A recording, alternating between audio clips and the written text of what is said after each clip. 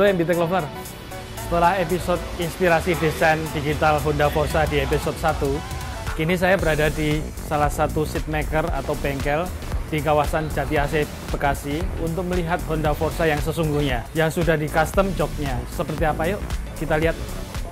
Ini ada dua Honda Forza, yang satu warna putih, yang satu warna silver. Tapi sudah di custom juga repaint. Kita lihat dulu yang warna putih. Forza warna putih ini joknya udah diganti, udah di custom. Ya menggunakan tiga jenis bahan. Satu ini MBTech Premium Carrera, kemudian MBTech Riders Cruiser, kemudian ada juga yang biru ini Gogo Blue dari MBTech Camaro Vesta. Keren ya, jadi bisa jadi inspirasi yang bagus untuk warna putih karena ininya juga ada birunya, jadi bisa senada dengan joknya. Yang satu lagi kita lihat ini udah di custom warna silver.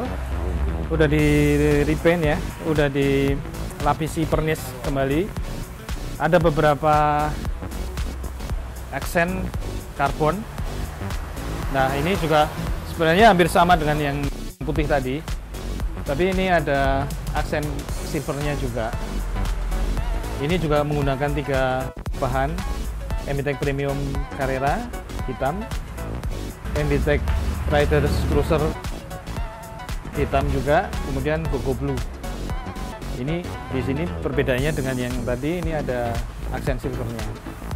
Dan ini juga sepadan ya dengan bodinya ada yang pakai karbon juga. Tapi mungkin secara detail kita bisa tanyakan penggawa seatmaker yang ada di JTAC ini siapa sebenarnya.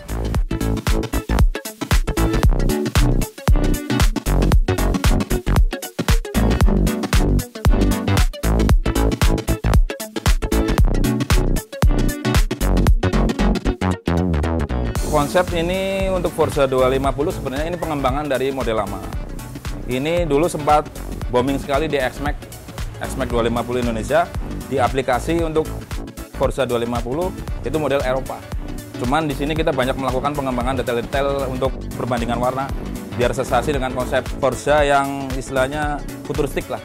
Detail-detail grafisnya kan hampir sama sesuai dengan kontur body jadi biar enak dilihat, simple, elegan, dan terlalu norak.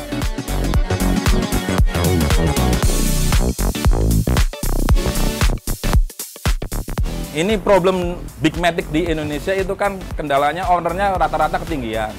Nah, kita kan ada solusi untuk masalah tersebut, yaitu jok lower seat atau jok pendek slim gitu. Forza untuk orisinilnya dia sendiri ketinggiannya antara 20 cm kurang lebihnya dan kita produk kita sendiri bisa turun sekitar 10 cm. Ini kondisi sebelum dipotong, masih kondisi standar original, kaki agak jinjit, agak beresiko kalau lagi macet, slap slip, kurang PW juga pas berkendara kalau pas lagi macet.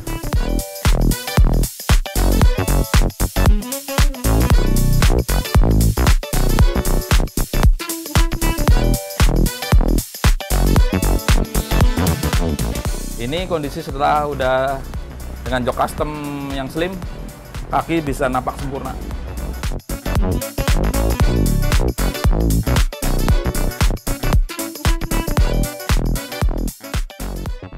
Di kita peminatnya banyak, yang tanya juga banyak, yang pesan juga banyak.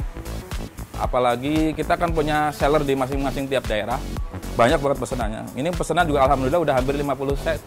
Untuk dalam kurun waktu belum sebulan peluncuran. Sehari mungkin bisa 3 set untuk custom. Untuk sementara ini masih bayar request. Untuk ready stock belum sempat. Karena untuk pemesanan by toko by perorangan juga masih penuh.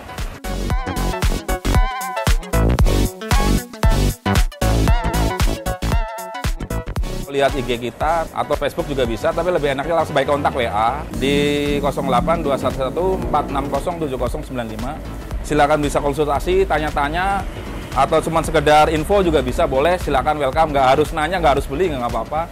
Memang MBTech is the best.